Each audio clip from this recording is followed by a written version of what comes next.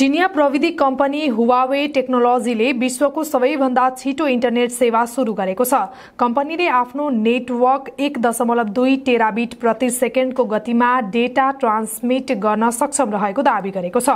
Huawei टेक्नोलोजीका उपाध्यक्ष Wang लेईलाई उद्धित गर्दै south China morning पोस्टले लेखेको छ यो नेटवर्कले एक सेकेन्डमा एक सय पचास हाई डिफिनिसन एचडी चलचित्र बराबरको डेटा ट्रान्समिट गर्न सक्छ।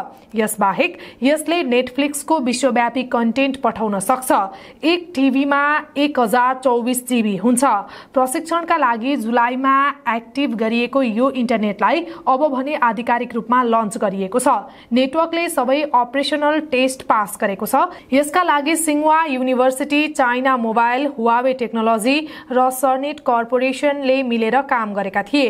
कम्पनीले विश्वको पहिलो नेक्स्ट जेनेरेसन फाइबर इन्टरनेट सेवा समेत सुरु गरेको गरेको छ। जुन अमेरिका र दक्षिण कोरियाको तुलनामा दस गुणा छिटो हो।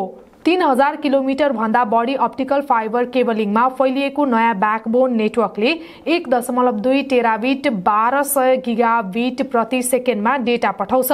यो नेटवर्कले उत्तरमा बेजिङ मध्य चीनको वुहान र दक्षिणी प्रान्त ग्वाङजाउलाई जोड्नेछ।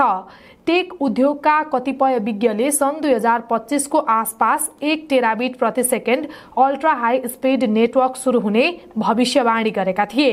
विश्वका अधिकांश इन्टरनेट ब्याकबोन नेटवर्कहरू हाल सय गिगाबिट प्रति सेकेन्डमा काम गरिरहेका छन्। अमेरिका यसमा पछि थियो हालै उसले पनि त्यो गतिलाई भेटाएको छ। चाइना एकाडेमी अफ इन्जिनियरिङका एफआइटिआई परियोजना प्रमुख बु जियाङपिङले सुपरफास्ट लाइन सफलतापूर्वक पूर्वक सञ्चालन मात्र नभएर चीनले अझ छिटो इन्टरनेट बनाउने काम गरिरहेको बताए। जापानले विश्वमा सबैभन्दा छिटो डेटा ट्रान्सफरको रेकर्ड राखेको छ। त्यहाँको राष्ट्रिय सूचना तथा संचार प्रविधि संस्थान एनआईआईसिटीको प्रयोगशालामा गरिएको परीक्षणमा इन्टरनेटको गति प्रति सेकेन्ड तीन सय उन्नाइस टेराबाइट रहेको थियो।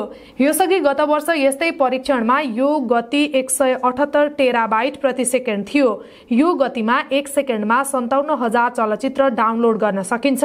अमेरिकी अन्तरिक्ष एजेन्सी नासाले पनि चार सय चालिस गिगाबाइट प्रति सेकेन्डको इन्टरनेट स्पिड प्रयोग गर्छ।